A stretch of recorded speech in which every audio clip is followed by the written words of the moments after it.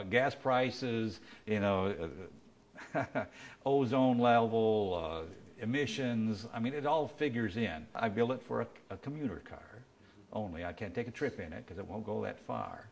Uh, I live about 14 miles away from work here, and uh, I, I planned it, and it looks like it does it. It's done it two or three times anyway.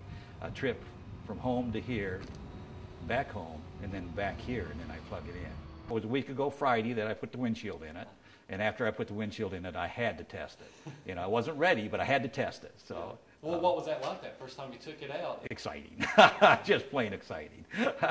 it's unique. I, I like it. I'm kind of proud of it. Uh, uh, yeah, people are excited about it. People are always asking questions. You know, like, how'd you do it? Where'd you, you know, where'd you get this? And where'd you get that? And what's this? And what's that? And what does this do?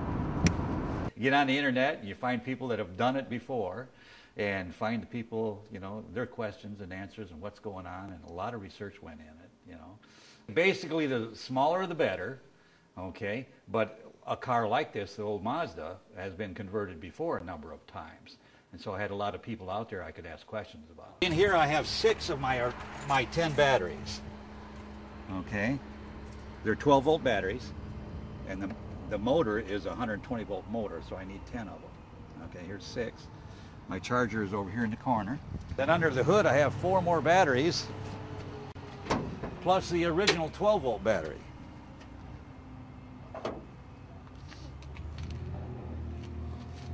This is the motor we're talking about down here. And it's bolted through an adapter plate right to the original transmission.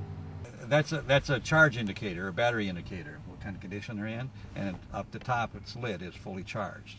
And as you drive and it goes down, well, it drops down. This plate here, you know, I mean, that's, that's cut and mounted special to the, to the firewall to, to hold the controller, you know, the contactor, and my DC circuit breaker here.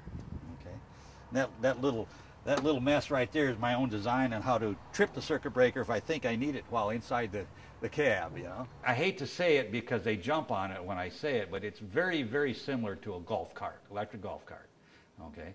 But it's, I've had it 65 miles an hour on the four lane, you know, I've driven it the speed limit every place I go.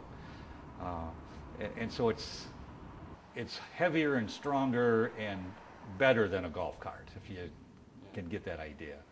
Uh, but yeah, I hope it catches on because I, I really think someday they're going to have to go to electric or something other than.